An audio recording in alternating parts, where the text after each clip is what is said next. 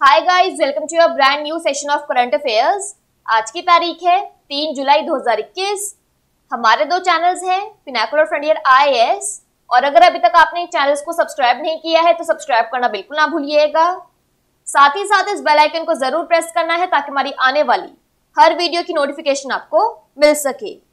हमारी दो वेबसाइट्स हैं एस एस डॉट कॉम और बलजी ढाका डॉट कॉम इन दोनों को विज़िट करना बिल्कुल ना भूलिएगा। और ये सेशन दोनों चैनल्स पर सुबह चार बजे अवेलेबल हो जाता है।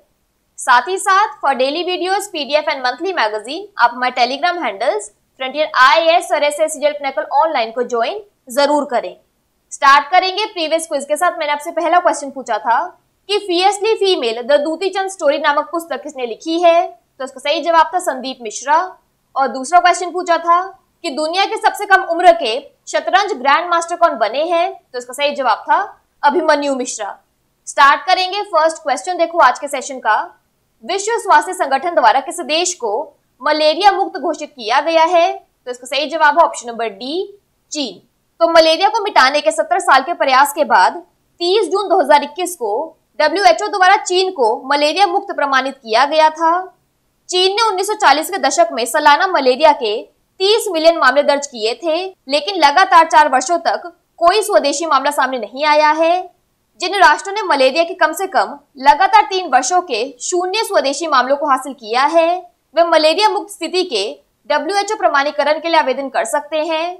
डब्ल्यूएचओ द्वारा मलेरिया मुक्त दर्जा प्राप्त करने वाला चीन चालीसवा क्षेत्र बन गया है। हाल ही में दर्जा प्राप्त करने वाले चार अन्य देश 2021 में अल साल्वाडोर 2019 में अल्जीरिया और अर्जेंटीना, और 2018 में पराग्वे और उज्बेकिस्तान थे। बात करें यहाँ पर the People's Republic of China की तो इसकी कैपिटल है बीजिंग करेंसी है रेनमिनबी नेक्स्ट क्वेश्चन देखो. भारतीय वायुसेना के नए उप प्रमुख कौन बने हैं? तो इसका सही जवाब है option number B air marshal Vivek Ram Chaudhary तो एयर मार्शल विवेक राम चौधरी ने गुरुवार को भारतीय वायुसेना के नए उप प्रमुख यानी वाइस चीफ का पदभार ग्रहण किया. उन्होंने एयर मार्शल हरजीत सिंह अरोड़ा की जगह ली है. एयर मार्शल चौधरी वर्तमान में भारतीय वायुसेना की पश्चिमी वायु कमान, यानी वेस्टर्न एयर कमांड के कमांडर इन चीफ के रूप में कार्यरत है। तस्वीर में देखिए, इस कमान के पास संवेदनशील लद्दाख क्षेत्र के साथ साथ उत्तर भारत के अन्य हिस्सों में देश के वायु क्षेत्र की सुरक्षा की ज़िम्मेदारी है। नेक्स्ट क्वेश्चन देखो। भारतीय नौसेना ने आर्टिफिशियल इंटेलिजेंस से संबंधित उभरती प्रौद्योगिकियों को विकसित करने के लिए किस कंपनी के साथ समझौता किया है? तो इसका सही जवाब option number C Bharat electronics limited. तो भारतीय नौसेना ने कृत्रिम बुद्धिमत्ता, यानी एआई क्वांटम कंप्यूटिंग और रोबोटिक्स से जुड़ी उभरती प्रौद्योगिकी विकसित करने के लिए भारत इलेक्ट्रॉनिक्स लिमिटेड के साथ एक समझौते पर साक्षर किए हैं। एमओयू संयुक्त रूप से नई प्रौद्योगिकी विकसित करने के लिए एक टेक्नोलॉजी इंक्यूबेशन फोरम स्थापित करने का मार्ग प्रशस्त करता है। द टेक्नोलॉजी इंक्यूबेशन फोरम रचनात्मक सोच तथा उभरती प्रौद्योगिकी विकसित करने की दिशा में भारतीय नौसेना और भारत इलेक्ट्रॉनिक्स लिमिटेड के संयुक्त दृष्टिकोण को साझा करता है। नेक्स्ट क्वेश्चन देखो। टोक्यो ओलंपिक 2021 को क्वालिफाई करने वाली भारत की पहली महिला तैराक कौन बनी है तो इसका सही जवाब है ऑप्शन नंबर सी माना पटेल। तो भारतीय महिला तैराक माना पटेल को भी टोक्यो ओलंपिक का टिकट मिल गया है। भारतीय तैराकी महासंघ के अनुसार माना की विश्वविद्यालय कोटा से टोक्यो ओलंपिक में भागीदारी की पुष्टि हो गई है। तस्वीर में देखिए। माना टोक्यो खेलों में 100 मीटर बैक स्ट्रोक में भाग लेगी। वह इन खेलों के लिए क्वालिफाई करने वाली तीसरी भारतीय तैराक है। नेक्स्ट क्वेश्चन देखो। किस राज्य सरकार के अरुण जेटली राष्ट्रीय वित्तीय प्रबंधन संस्थान ने एआई और उभरती प्रौद्योगिकियों के उत्कृष्टता केंद्र के निर्माण के लिए माइक्रोसॉफ्ट के साथ एक समझौता ज्ञापन पर साक्षर किए हैं? तो इसका सही जवाब है ऑप्शन नंबर डी हरियाणा। तो Arun Jaitley National Institute of Financial Management and Microsoft ने एक मसौदा पत्र पर साक्षर किए हैं। इस साझेदारी के तहत Arun Jaitley National Institute of Financial Management में एआई और उभरती प्रौद्योगिकियों के उत्कृष्टता केंद्र का निर्माण किया जाएगा। भारत में सार्वजनिक वित्त प्रबंधन के भविष्य को बदलने और उसे नया रूप देने के लिए साझेदारी से क्लाउड एआई और उभरती प्रौद्योगिकियों की भूमिका का पता लगाने का प्रयास किया जाएगा।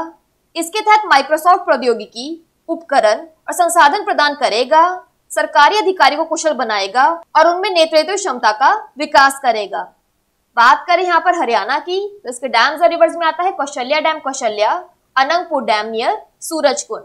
National park में आता है Sultanpur national park Kalesar national park Haryana की कैपिटल है चंडीगढ़ गवर्नर है सत्यदेव नारायण आर्य और चीफ मिनिस्टर है मनोहर लाल खट्टर।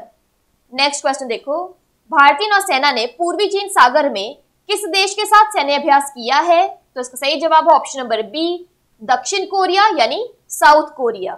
तो भारतीय नौसेना के स्वदेशी anti submarine warfare corvette INS Kiltan ने पूर्वी चीन सागर में एक दक्षिण कोरियाई पोत के साथ एक सैन्य अभ्यास किया है। इस अभ्यास का उद्देश्य दोनों नौसेनाओं के बीच पारस्परिकता, यानी रेसिप्रोसिटी को बढ़ाना और सर्वोत्तम प्रथाओं के आदान प्रदान की सुविधा प्रदान करना था। बात करें यहाँ पर साउथ कोरिया की तो इसकी कैपिटल है सियोल, करेंसी है South Korean won next question देखो।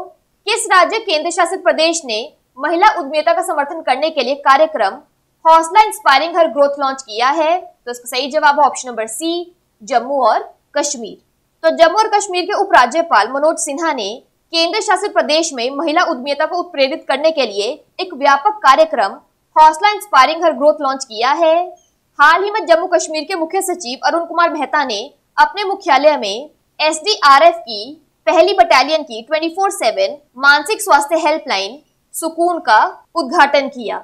बात करें यहाँ पर जम्मू और कश्मीर की तो इसके लेफ्टिनेंट गवर्नर है मनोज सिन्हा, लद्दाख के लेफ्टिनेंट गवर्नर है आर के माथुर। नेक्स्ट क्वेश्चन देखो। केंद्रीय मंत्री श्री नरेंद्र सिंह तोमर ने फ़सल बीमा सप्ताह के दौरान फ़सल बीमा जागरूकता अभियान का शुभारंभ किया।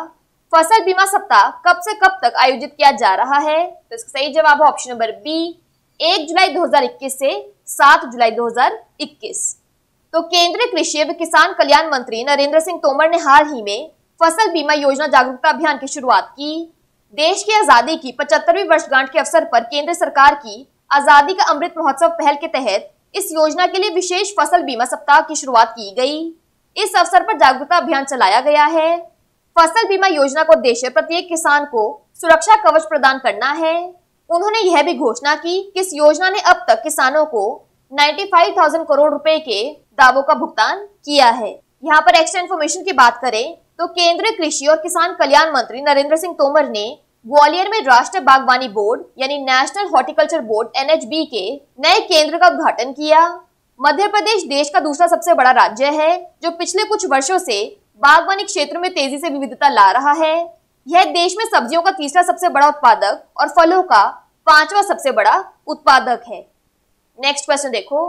ग्लोबल स्टार्टअप इकोसिस्टम इंडेक्स 2021 में भारत का रैंक क्या है? तो इसका सही जवाब ऑप्शन नंबर बी 20 तो स्टार्टअप ब्लिंक द्वारा ग्लोबल स्टार्टअप इकोसिस्टम इंडेक्स 2021 में शीर्ष सौ देशों में भारत बीसवें स्थान पर है।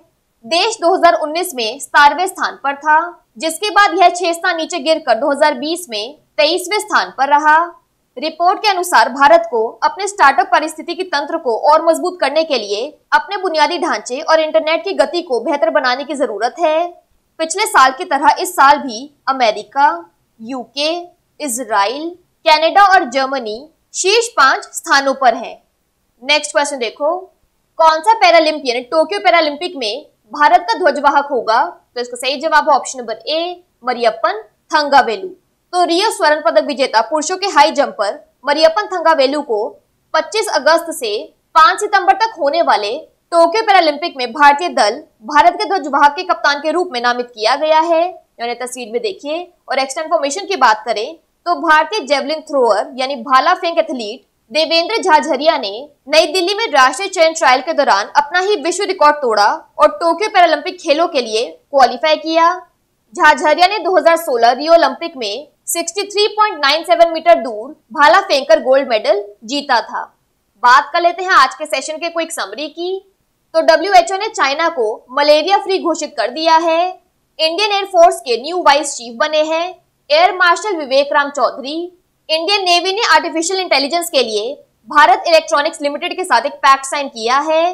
टोक्यो ओलंपिक 2021 क्वालिफाई करने वाली इंडिया की पहली फीमेल स्विमर बनी है माना पटेल हरियाणा के Arun Jaitley National Institute of Financial Management ने एआई के लिए माइक्रोसॉफ्ट के साथ एक एमओयू साइन किया है। इंडियन नेवी ने ईस्ट चाइना सी में साउथ कोरिया के साथ सैन्य अभ्यास किया। Women entrepreneurship programme Hausla inspiring her growth Jammu and Kashmir में लॉन्च किया गया। क्रॉप इंश्योरेंस वीक 21 जुलाई 2021 से 7 जुलाई 2021 तक मनाया जा रहा है। ग्लोबल स्टार्टअप इकोसिस्टम इंडेक्स 2021 में इंडिया का रैंक है 20 और टोक्यो पैरालंपिक्स में इंडिया के फ्लैग बेरर होंगे मरियप्पन थंगावेलू। बात कर लेते हैं आज के सेशन के क्विज फॉर द डे की। आपका पहला क्वेश्चन है, विश्व स्वास्थ्य संगठन द्वारा किस देश को मलेरिया मुक्त घोषित किया गया है? और आपका दूसरा क्वेश्चन है, भारतीय वायुसेना के नए उप प्रमुख कौन बने हैं? इन दोनों क्वेश्चंस का आंसर आपको नीचे कमेंट सेक्शन में ज़रूर करना है। और अगर अभी तक आपने हमारे चैनल्स को सब्सक्राइब नहीं किया है तो सब्सक्राइब करना बिल्कुल ना भूलिएगा। साथ ही साथ इस बेल आइकन को ज़रूर प्रेस करना है, ताकि हमारी आने वाली हर वीडियो की नोटिफिकेशन आपको मिल सके। हमारे दोनों वेबसाइट्स और टेलीग्राम हैंडल्स को ज्वाइन ज़रूर करना है। Thank you so much